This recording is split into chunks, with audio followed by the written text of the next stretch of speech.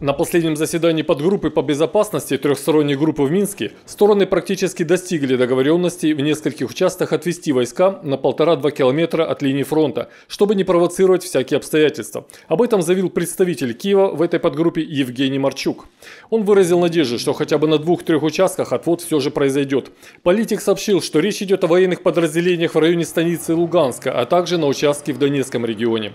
Погодили це не тільки на робочих групах, ми потім засідали. Договорились не только на рабочих группах. Мы потом заседали в трехсторонней контактной группе с участием этих представителей. Пушилина, Дейнега, Зурабова, Грызлова, ну и Сайдика, конечно.